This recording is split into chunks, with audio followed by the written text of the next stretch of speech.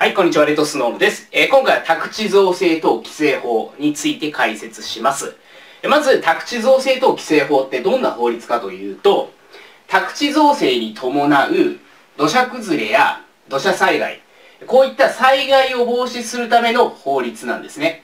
宅地造成を行って、それに伴って災害が起こる。こういったことを防ぐための法律なんだというふうにお考えいただくと分かりやすいです。で、この法律で重要な一つのキーワードがあって、それは宅地造成工事規制区域っていう区域です。これはいわゆる宅地造成工事をすることによって、え災害が起きそうな場所、えこういったところを知事が指定するんですね。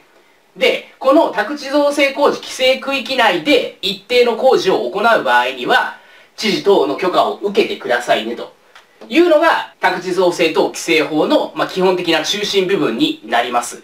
もう少し具体的に言うと、宅地造成工事規制区域、まあ、一般的に規制区域って言うんですけども、規制区域内で宅地造成工事を行う場合、工事をする前に、工事着手前っていうのは工事を実際に行う前に、造成主は知事等の許可を受けなければなりません。で、えー、造成主って誰かというと、例えば、私が土地を持っていました。例えば山を持っていましたと。で、その山の一部をですね、えー、工事をして宅地にしようと思っている。で、えー、まあ、私自身がですね、工事をすることができる場合、この場合、造成主は私になります。つまり、請負契約、工事業者と契約することなく、自ら工事をする人。これはまず造成主です。また、請負の注文者。私自身が工事をすることができないけれども、え自分の土地を工事するにあたって、例えば建設業者とかと契約をして、請負契約をして工事をしてもらう。この場合、え工事を行うのは、えこの工事業者なんですけれども、造成主は私になります。請負契約の注文者、発注しているのは私ですよね。なんで私が造成主だということになります。なんで、まあ、基本的にはですね、えその造成工事を行う土地の所有者みたいなイメージで考えていただくと分かりやすいかなと思います。で、続いて、宅地って何なのか。宅地の定義ですね。これもすごく重要です。宅地っていうのは、農地とか再送放牧地、森林以外、また、道路とか公園とか河川とか川ですよね。そういったもの以外の土地を言います。つまり農地とか再送放牧地、森林、え道路、公園、河川、川以外の土地ということですね。まあ、例えば、まあ、普通の宅地ですよ。えー、建物が建っている土地、宅地ですね。まあ、宅地はそのまま宅地になります。なので注意が必要なのは、農地は宅地じゃないんだよってことですね。農地は宅地には当たりません。えこれですね、えー、宅建業法上、宅建業法で規定されている宅地の定義とは違うんですね。宅建業法では、用土地域内の農地っていうのは宅地に当たるんですね。一方、宅地造成等規制法では、農地は宅地じゃありませんので、この点注意しましょう。で、宅地造成ってどんなものかというと、工事を行った結果、宅地になって、かつ一定規模を超える工事のことを宅地造成って言うんですよ。つまりこの二つを満たす場合、宅地造成にあたって、で、この宅地造成を行う場合は知事の許可が必要ですよっていう流れになります。まずちょっとこちら見ていただきたいんですけども、まず宅地造成っていうのは、宅地以外の土地を宅地にする工事、および宅地において行う工事。この二つなんですね。宅地から宅地って書いてあるんですけども、宅地があって、これについて土地の区画形質変更を行う。で、土地の区画形質の変更っていうのは、ブルドーザーとかショベルカーで土を取ったり、また土を入れたりする工事だって考えていただければわかりやすいと思います。で、宅地があって、その宅地で、例えば土を入れたりとか、そういったことをする場合、結果的には宅地になりますよね。もともと宅地で土を入れてまた宅地にするってことは、宅地において行う工事、つまり宅地から宅地。なので、これも、え宅地造成工事に当たるんだということですね。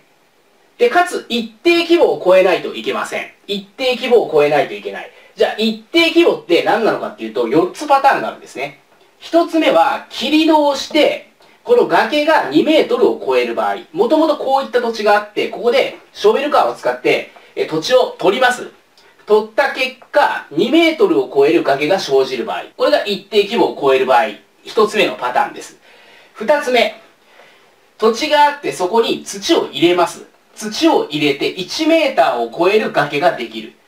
この場合が2つ目のパターン。3つ目は、こう土地があって、まず切り戸をします。で、ここなくなりますよね。ここなくなります。で、さらに盛り土をします。土を入れます。で、結果的に2メートルを超える崖ができると。こういった場合が3つ目のパターン。で、4つ目が工事をする面積が500平米を超える場合。これは崖の高さとは関係ありません。1から3は崖の高さで見てるんですけども、これは工事をする面積。面積が500平米を超える場合ですね。盛り土をしてもいいし、切り土をしてもいい。まあ、盛り土だけで500平米を超える場合とか、えー、切り土だけで500平米を超える場合、えー、盛り土プラス切り土をして500平米を超える場合。これが4つ目のパターン。どれかに該当して、かつ工事をした結果宅地になる工事。これが宅地造成工事だ。まあ、宅地造成。まあ、どっちでもいいんですけども、宅地造成も宅地造成工事も一緒なので、宅地造成に当たるんだということですね。だからこの2つを満たした時に、初めて造成主は工事を始める前に、知事の許可を得てくださいね。っていう風になっています。で、これ知事等ってなってるんですけれども、え指定都市とか中核市って言って、大きな都市ですね。大きな市。え例えば名古屋市、大阪市、横浜市とか、川崎市とか、まあそういったところって大きい都市なんですね。で、ここっていうのは、知事の権限が、え市長に移譲されてるんですよ。つまり、え市長だけども知事と同じような権限を持っている、まあそういった大きな都市の市長ですね。市長さんはここに含みます。知事等に含みます。だから横浜市も宅地造成工事を行う場合っていうのは、横浜市長の許可を得るんですね。まあこれはまあ参考程度でいいです。あの基本的にはもう知事で覚えてください。知事ですね。で、やはり重要なポイントで言うと、まず宅地造成工事規制区域は知事等が指定するんだ。で、この規制区域内で宅地造成工事を行う場合、工事を始める前に造成主が知事等の許可を受けなければなりません。で、造成主って誰ですかっていうと、これは請負契約の注文者、及び、え請負契約をしなかった場合、自ら自分で工事をする、自ら自分ですね。これが造成主。つまり、まあ、土地の所有者っていったイメージってことですね。で、宅地造成工事の宅地って何なのかというと、農地、再送放牧地、森林、道路、公園、河川以外の土地です。ここは注意が必要で、宅地造成等規制法では、農地は宅地には当たりません。一方で、宅建業法では、用途地域内の農地っていうのは宅地に当たるんですね。だからこの点は注意が必要だということです。で、宅地造成工事、宅地造成ってどんなものかというと、これは2つの要件を満たした時に初めて宅地造成って言うんだよと。